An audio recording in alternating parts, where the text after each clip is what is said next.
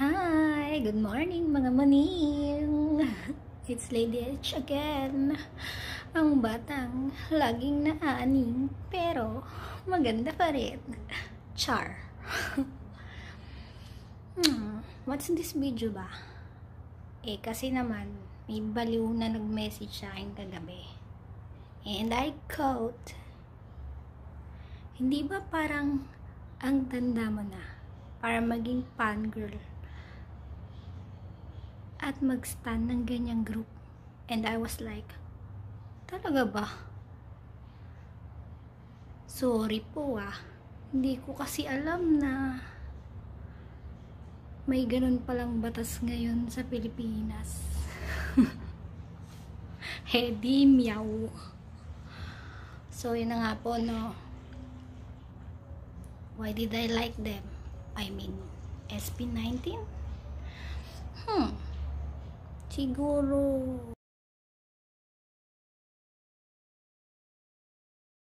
Of course!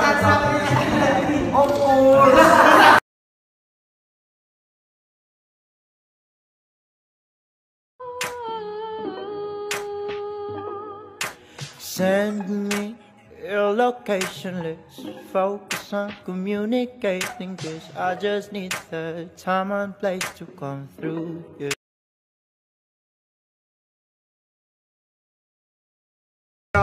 It's July 1 Hoy!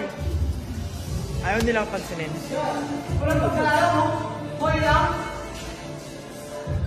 Hoy po!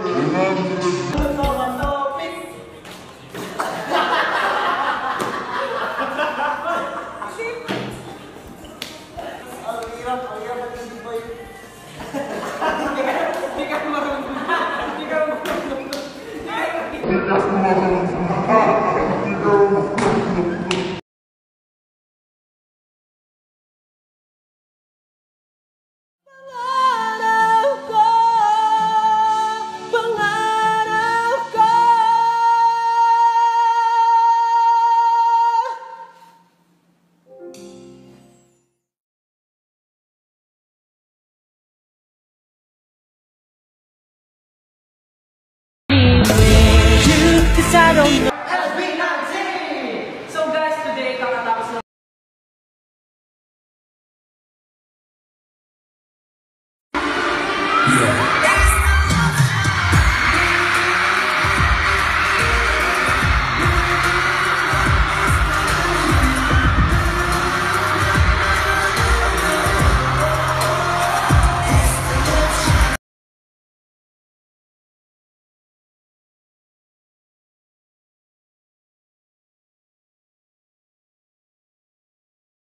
side naman po na sinasabi nila, tulog kami K-pop. Yung K-pop po na genre, hindi naman po siya solely, hindi, wala naman po nagmanyari ng genre. Yung K-pop din po, influence po siya ng, influence po siya ng J-pop and ng American pop. So, yung genre na ginagamit nila, Umbatun, uh, tawag dito, Umbatun, what else, parang, uh, yun katulad po ng nasa uh, kanta namin, yung genre po na ginamit, uh, Future House and Deep House, which is ginagamit na rin po sa western countries, ginagamit na rin po sa Indian countries. Siguro po, dahil ang, ang karaniwang uh, response kung bakit K-pop yung tulog namin, kasi po right now, ang sikat sa buong mundo is yung K-pop, which is hindi naman nabibigyan ng pansin ng ibang bansa na same genre rin yung ginagawa. So, bali po, ang pinapromote po talaga namin dito is P-pop, OPM. Pero po, na-influence lahat naman po, parang ang music po kasi ano po yun eh, parang universal language din po yun eh. Walang may-ari ng certain genre. Kumbaga, influence po tayo lahat ng, yung music influence ng lahat ng iba't ibang cultures na po.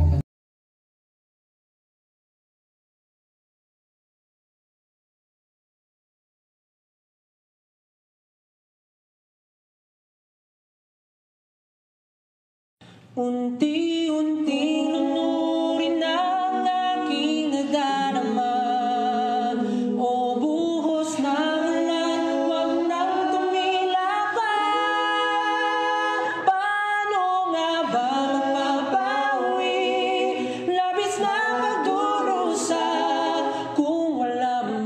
pag-asa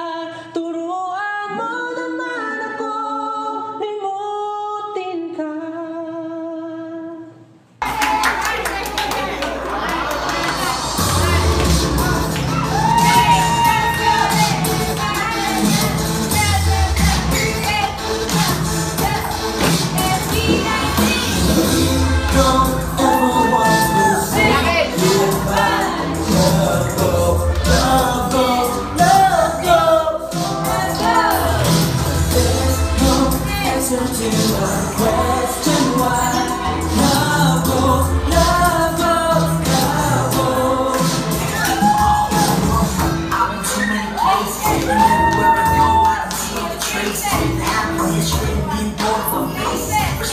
the black got too late. The